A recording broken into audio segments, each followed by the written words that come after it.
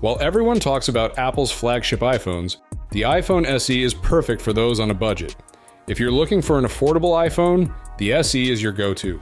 The first iPhone SE debuted in 2016, and Apple updated it in 2020 and 2022 with more up-to-date hardware. Unlike the regular iPhone, which gets an update every year, the iPhone SE typically gets refreshed every couple of years, so a new iPhone SE for this year is possible. However, the situation with this model is more complex. Let's dive deeper.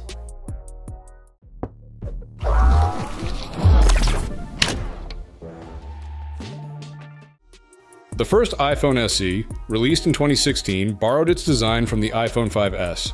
The second and third generations, released in 2020 and 2022, respectively, adopted the iPhone 8's design. If rumors are true, the upcoming iPhone SE4 might bring significant design changes. Speculation suggests a 6.1 inch screen similar to Apple's flagship iPhones, potentially resembling the older iPhone XR or the newer iPhone 14 design. The larger screen would mean the removal of the Home button and Touch ID, aligning the SE with its Face ID equipped siblings. However, don't expect the dynamic island, the notch might make a comeback. Additionally, the iPhone SE4 might inherit the action button from the iPhone 15 Pro and switch from Lightning to USB C. Traditionally, all iPhone SE models featured LCD screens. However, the iPhone SE4 might switch to OLED technology, offering deeper blacks and superior contrast. Since the iPhone 12, Apple has preferred OLED displays for its iPhones, so this would align the SE more closely with the flagship models while maintaining a lower price point.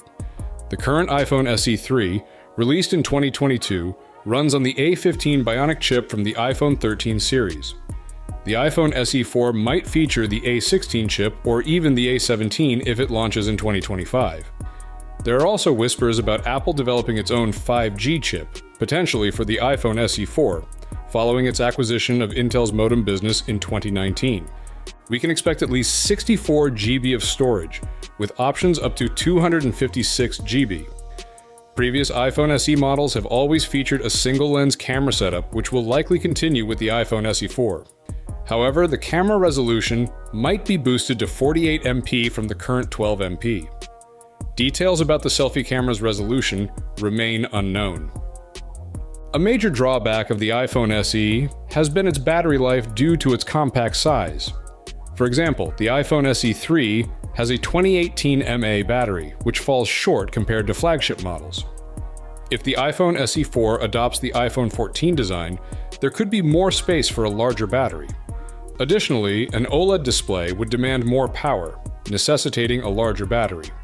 Coupled with a newer A series chip, which could offer better energy efficiency, we might see improved battery performance overall. When the iPhone SE debuted in 2016, it seemed like a one off. The next version didn't appear until 2020, followed by another in 2022. Following this pattern, a 2024 release seems likely. However, rumors have been mixed. Initially, analyst Ming Chi Kuo suggested that the iPhone SE4, originally slated for 2024, was scrapped.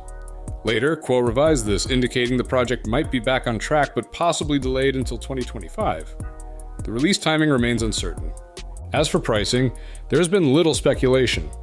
The iPhone SE is Apple's budget offering, so we can expect a similar price range to the current SE, which starts at $429 for the 64GB variant, rising to $479 for 128GB, and $579 for 256GB. Even if the price increases slightly, it will likely remain more affordable than the flagship iPhone models. In summary, the iPhone SE 2024 promises a fresh design and a larger 6.1 inch display, shaking up the lineup. Are you excited about these changes? Share your thoughts in the comments below as we eagerly await further leaks. Let's enjoy the journey leading up to the official unveiling together. And as always, thank you for joining us.